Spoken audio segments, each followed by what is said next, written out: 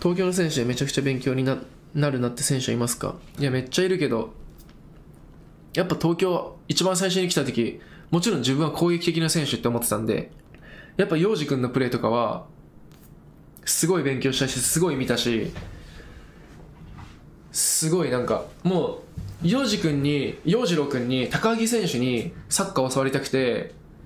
ずっとくっついてたくっついてたっていうか頑張って話しに行こうとかしてた気がする。今となってはすごいなんかお世話になってるしめちゃめちゃいい先輩だしサッカーのことも教えてくれるし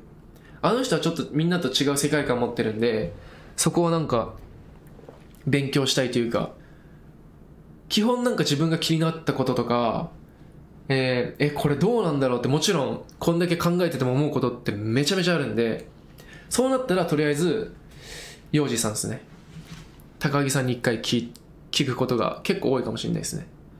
そうするとやっぱ違う視点で物事見見てるし自分なんでこんなに難しく考えてたんだろうとかそういうのも結構あるんですかね。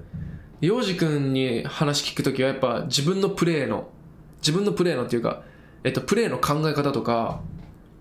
えそれこそ、うん、相手の立ち位置見るとかそういうなんかあれかな？もう本当個人戦術的なところ。はすごい勉強になるしちょっと飛び抜けてる気がしますね。で健介君とかと話すときは健介君にどうやって合わせるかとかいやこうなったら前の選手からしたらこういうタイミングでパス出してほしいとか出したらこのタイミングで出したら俺いけるよとかそういうやっぱ経験値を教えてくれる。まあ2人は違う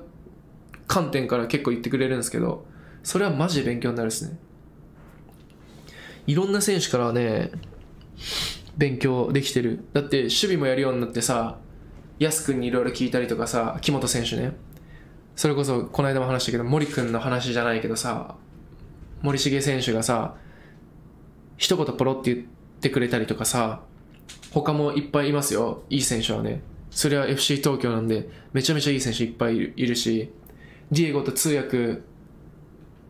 をね介して話すことももちろんあるしやっぱ人それぞれ感性とか持ってるものって違うし一つの物事に関して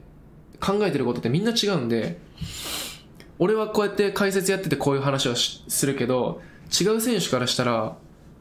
もしかしたらえそんな考えもあんのって俺なるかもしんないし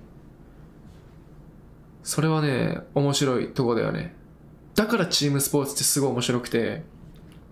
そういうのを考えがみんなが合致した時に点数って生まれるんですよね。そこはすごい面白い。あのー、チャンネル登録よろしくお願いします。よろしくお願いします。っていう感じで今日は終わりたいと思います。皆さん